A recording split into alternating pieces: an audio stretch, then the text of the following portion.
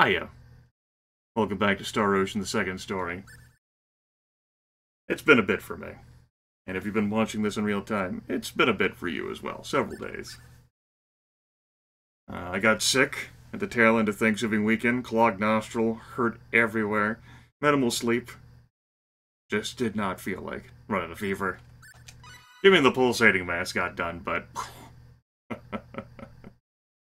Needed to wait for Star Ocean the second story. It was for the best. But now, gotten plenty of sleep, both working nostrils. Happy days are here.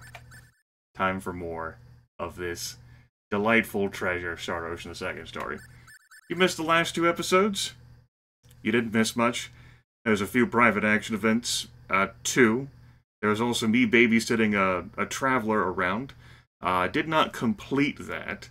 The reward for that is nothing of material as far as this playthrough is concerned. We then spent a bunch of time crafting, which was a sampler platter of crafting. It did not include the full bevy of crafting experience, from authoring, where you can either make books to influence relationships or books to increase people's skills without investing skill points. Uh, you can also have books sold for royalties. Uh, you can also create art with canvases and clay. There's combining foods to make other foods. Uh, there's using music and the super specialty orchestra to, among other things, orchestra can increase your odds of creating items or increase your odds of like basically like improve your talent grinding chances. There's again, it's a sensory overload. If you don't come into this with like a detailed game plan, but you find yourself still caring about these things to some extent, it's overwhelming. On the bright side, it's not necessary stuff to do to get through the game. You can turbocharge your power, especially if you know the right moves. You can become a lean, mean killer machine, especially if you combine that with pickpocketing. But, uh, the amount of time that would have been spent in this playthrough had I fully poured myself into doing all this, much worse than it. Just a casual playthrough, introducing you to Star Ocean, the second story. Without uh, all of the other things that we could do behind the scenes. And really, I, for as cool as all of these crafting options are, the lack of interactivity involved just much much duller to me now than it was back in the day the only thing of significance you missed is that I popped into Linga to to buy a few skills, and so we missed an opening cutscene there. That opening cutscene introduces a character who is familiar with machinery, like Opera is. I was also... We also did inventory management. I think the only thing of substance that I have equipped is this mic chain, which Claude made. Pretty sure that's it. That's upping his attack power. Look at that.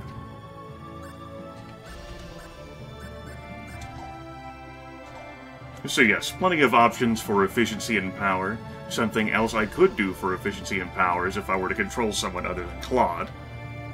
You know, like say if I guided Opera along. Welcome to Linga, everyone.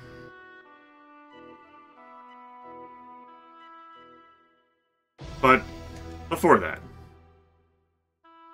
there is at least one private action I want to show off, which is of value and substance. So don't touch that dial.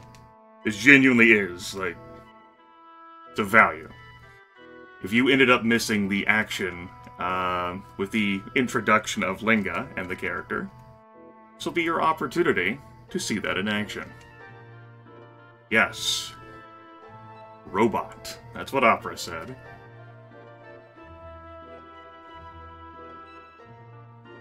This is also an opportunity to talk to people around town, as I did not do that.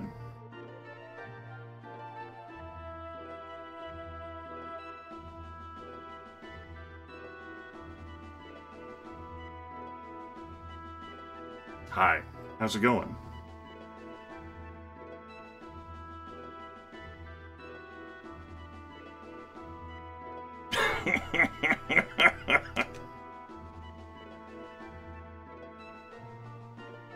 Did not have in mind picking you up.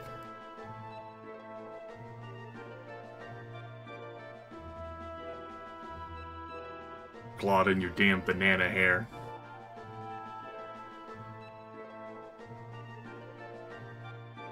Right, so she was chasing this robot around town. Great.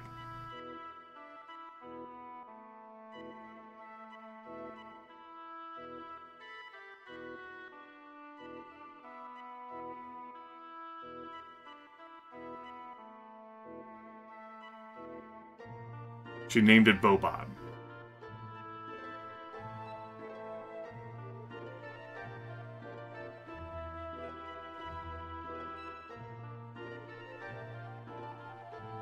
Know what I mean? Music note.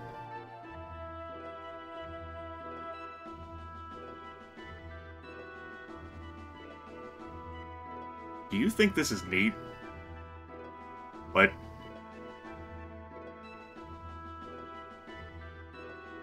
Are you interested in what I do? Claude. About as sharp as a pound of wet leather, boy. Just right over his head.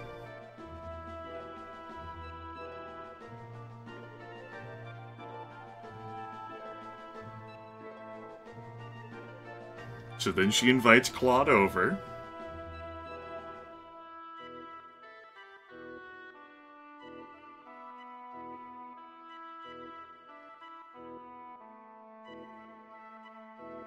Guys can pick her up, but she doesn't pick up guys. Don't get the wrong idea. He understands perfectly. Wink. Okay. So. Half my life ago, I looked at this name. Never needed to pronounce it at any point in my life. Called her Precious. Presses. I'm older now. I look at that. Précis. What the fuck is that? It's a summary. Not just a summary, but a simple summary. I could go into more detail, but that'd be fucking missing the point now, wouldn't it? Précis Neumann. Of course, I didn't bring the instruction manual next to the computer desk, because that would have been intelligent and reflected well upon me. Let's grab that in advance for no particular reason. So, we follow Précis and Boba. She asks about her age. We're 19. Well, then that puts us only three years apart. Well, then it's okay.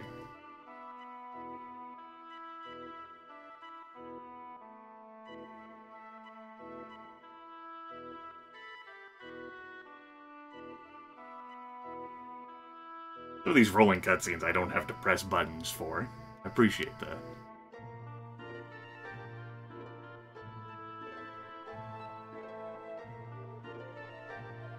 Yep, this is happening. Why, no! Oh.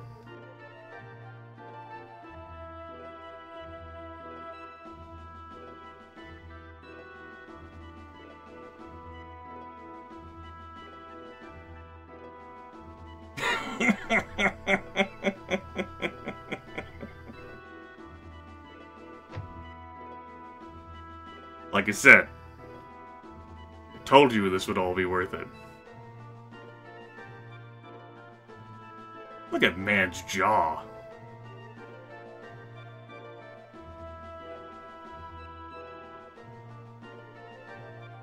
Hello.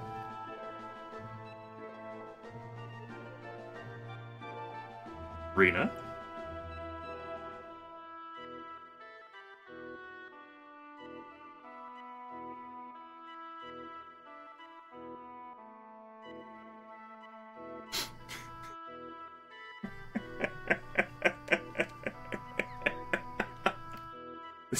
better than I remembered.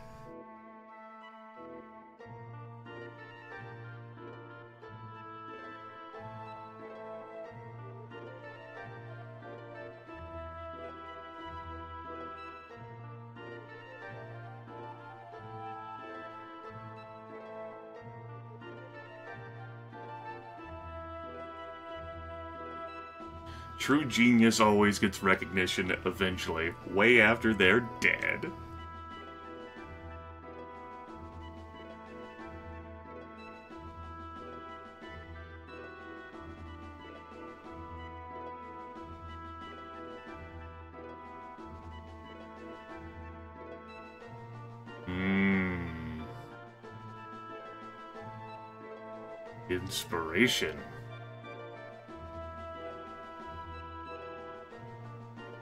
Someone actually calls us on our clothes. How about that? I mean, it's happened before, but this person gets inspired. Could buy them anywhere, you know?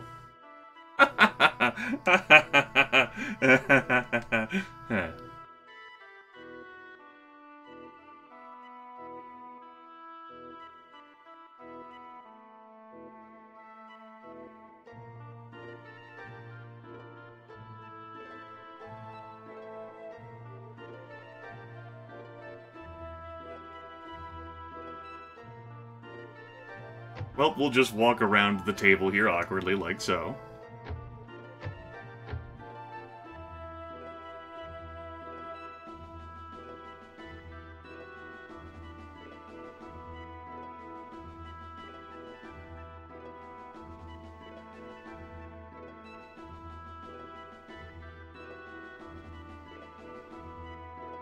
So long time ago, something fell from the sky. It's never happened before.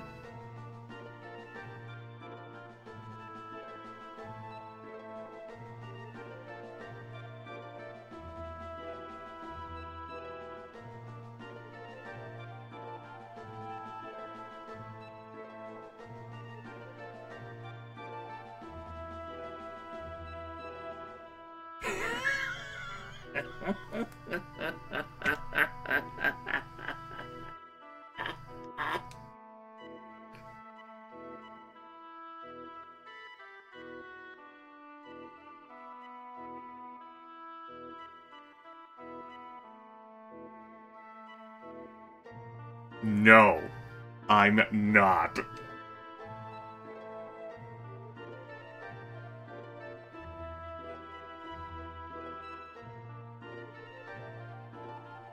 Mina's incredible politeness just absolutely conflicts with everything that's happened. You had to deal with so much, like the whole Celine situation.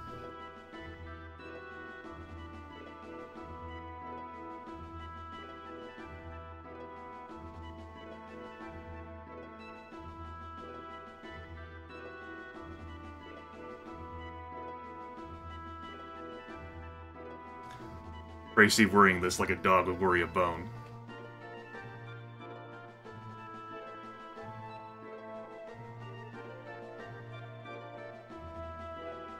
Exactly what the problem is. It's the Sorcery Globe's fault.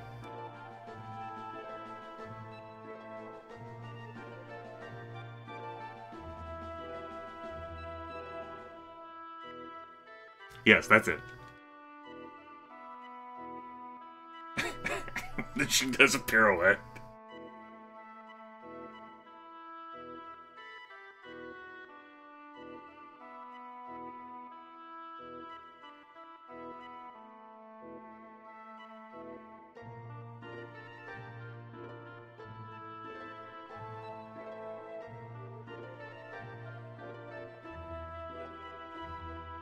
We friends, huh?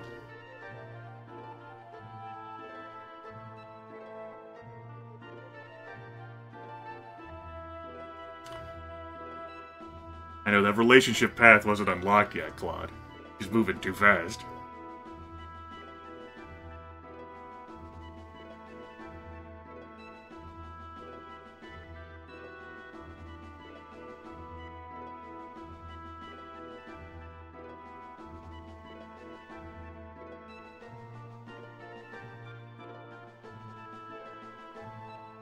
Yes, in the name of science.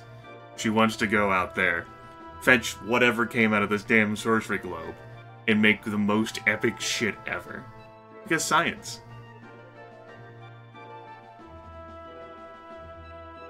Also, we're treating her like a normal person. She's fallen for all of us. So, set the controller down. Open up my handy dandy instruction book. Does she not have an entry in this?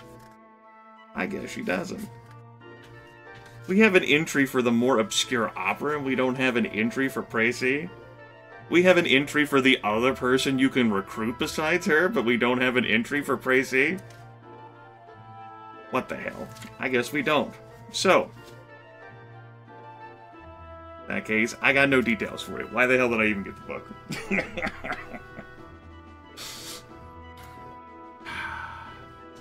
She's not.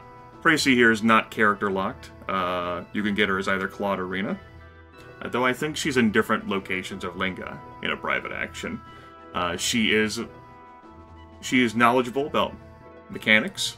So if you don't have Opera in the party, you'll have her. Unless you choose not to pick her up. But you can have her. Uh, she has some stuff related to Ashton, which we don't have in the party. There's like a few private actions that can revolve around them. Uh, I like her as a character. I think she's effective character. It's been a while since I've had her in my group. Like, it's been a while since I've had Ashton in my group. Don't remember how grating her dialogue is um, like her voice dialogue. She's 16, but uh, she may end up sounding worse. Do note that this will not be the youngest person we encounter in the game who could be in our party. We're gonna say no to her, not because I think she's a bad character, but because I'm more interested in the character we wouldn't be able to recruit if we recruited her. Besides, we have our engineering specialist, and, you know, maybe just this once, Claude can throw Rena a fucking bone here, you know? Instead of taking advantage of her hospitality at every turn. Rena has a problem with this. She's overwhelmed. She's confused. This is not a game, though. You can't come. Now, if this were a movie, she'd find a way to come along anyway. But thankfully, no means no. Remember that, folks. No means no.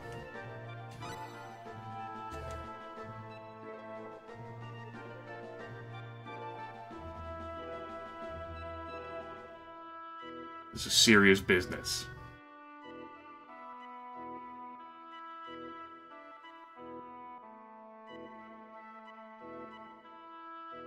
Of course, now Rena's only one year older than than her, so she's gonna gonna try and turn this into like an age manipulation, you know, emotional manipulation.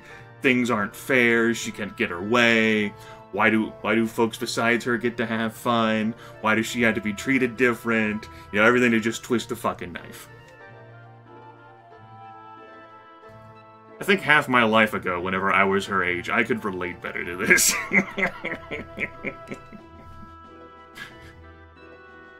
Here I'm like, eh, Eh.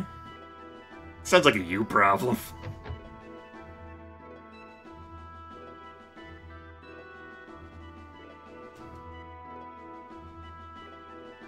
Yup. I'm sorry, but it's really a dangerous journey. Don't forget, Bowmans, if you have stamina, your HP and MP will recover like crazy after a battle. That's your kind about stamina. Something that the instruction book doesn't do a good job of, or great job, is, while it does provide, like, some detail about private actions, and, like, hey, there's gonna be, like, skills and specialties, and here's, like, some combat mechanics. There's not an intricate explanation of, of things I would like to know about, you know? It's stuff that you end up, in my case, having to go on the internet to look for when you're playing this game like, I don't understand this shit, or winging it. Or perhaps encountering someone who will explain these things to you. Just like how Claude doesn't know what the fuck his favorite food is. Come on, Claude. I mean, Claude could genuinely be conflicted on it, right? So Linga's gimmick, besides being a place of knowledge that there's plenty of pharmacies around here, where you can buy pharmaceuticals, if you are so inclined. Jam made of boiled down aloe. Or boiled down apples.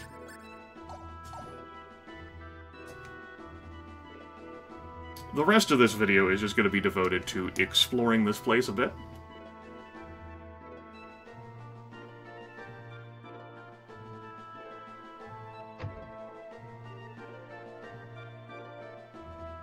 The co-op lady. We got a toolbox filled with tools for mechanical work, a reference book for study and research. Note that attack there. Clothes, magical canvas, magic clay, feather pen. To impart mastery of the skill of musical notation, we have a magical camera with magical film. Some fountain pens, some pet food, because there's familiars you can have like pets go out to shop for you. Gloves are hammer, resurrection bottle, some vellum paper, high quality paper used for writing documents.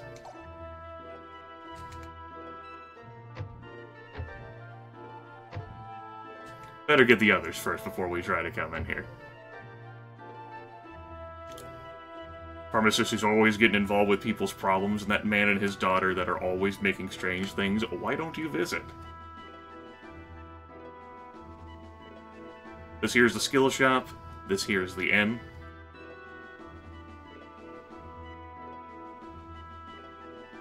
Up here is another pharmacy. Hello.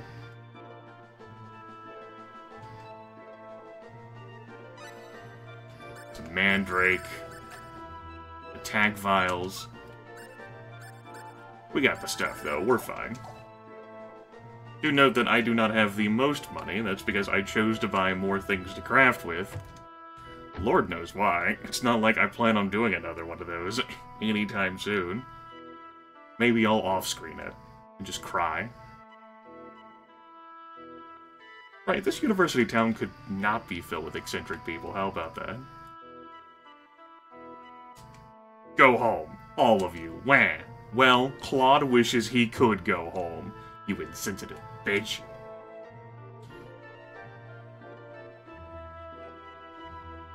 Professor's angry with you again. Brings me back. Memories.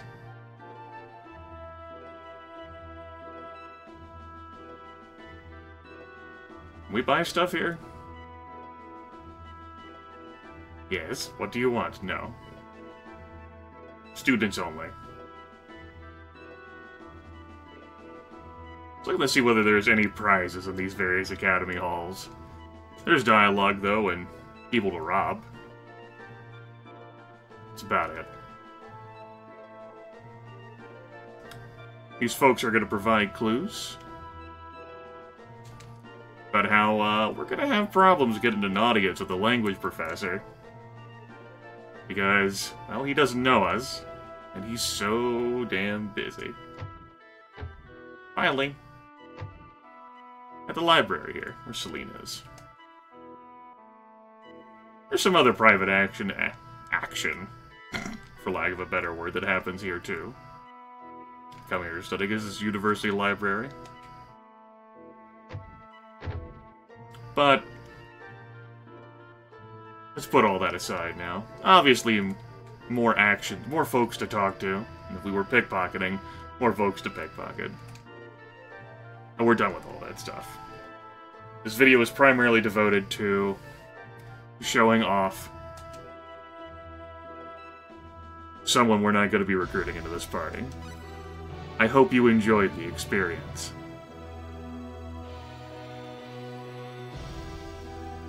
I sure did. Can I come? Can I come? Can I come? Can I come? Please? No.